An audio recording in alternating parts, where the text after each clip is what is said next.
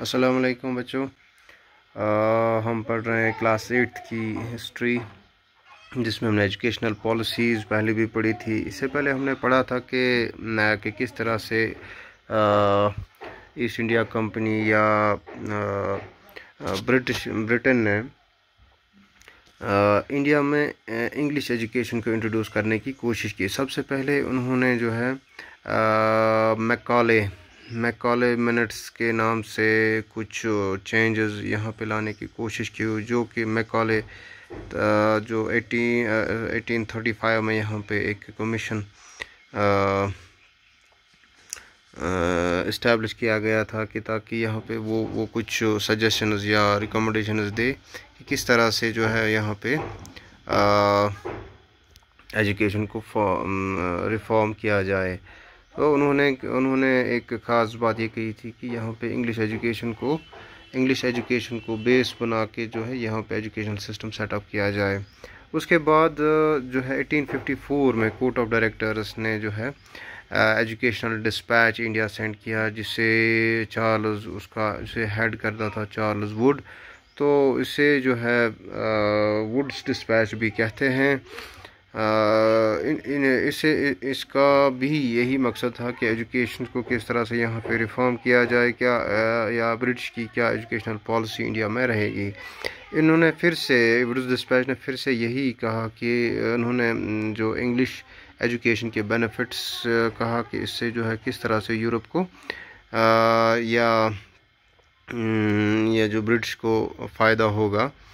तो उन्होंने उन्होंने उन बेनिफिट्स को इंडिया के तनाजुर में नहीं, बल्कि यूरोप के उन्होंने ये सोचा कि यूरोप को या ईस्ट इंडिया कंपनी हो या जो है ब्रिटेन को ब्रिटिशर्स को कैसे फ़ायदा आएगा इनको एजुकेट करने में? उन्होंने ये सोचा कि अगर हम इनको इंग्लिश पढ़ाते हैं तो इन्हें इनकी, इनके टेस्ट्स इनके जो डिज़ायर्स इनके जो हैं वो यूरोपियन वे ऑफ़ लाइफ बन जाएगा जिससे कि यूरोपियन गुड्स की डिमांड बढ़ेगी और जिससे कि अगर हम यहाँ पे इंपोर्ट यूरोपियन गुड्स करते करते हैं तो उनकी डिमांड यहाँ पे बढ़ेगी जिससे कि यूरोप की माशी या इकोनॉमी को फ़ायदा मिलेगा।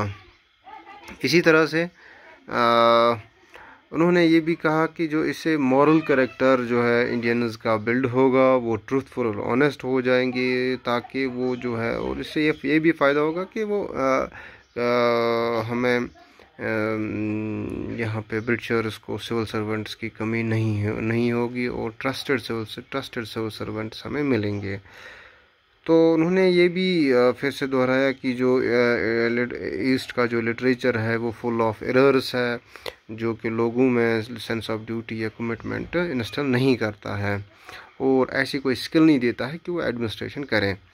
इसी तरह following eighteen fifty four dispatch बहुत सारे मेजर्स यहाँ पे ब्रिटिश ने लिए, जैसे एजुकेशन डिपार्टमेंट उसको सेटअप किया गया और एजुकेशन को पूरी तरह से कंट्रोल करने की कोशिश की गई।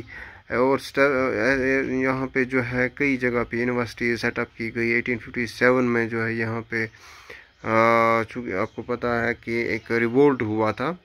उसके बावजूद भी कलकत्ता, मद्रास और बम्बे में यहाँ पे जो है सबसे पहली यूनिवर्सिटी सेटअप की गई थी। ताकि जो और, और कुछ ऐसे भी स्टेप्स लिए गए थे कि ताकि जो स्कूल एजुकेशन सिस्टम है उसको भी रिफॉर्म किया जाए। सो so, ये हमने पढ़ा वुड्स डिस्पैच इससे पहले हमने मैकॉले मिनट्स पढ़े थे। सो so, नेक्स्ट वीडियो में हम आगे बढ़ते हैं कि क्या कौन से स्टेप्स ब्रिटिशर्स ने लिए यहाँ पे इंग्लिश एजुकेशन या एजुकेशन को प्रमोट करने के लिए। बाकी वसलम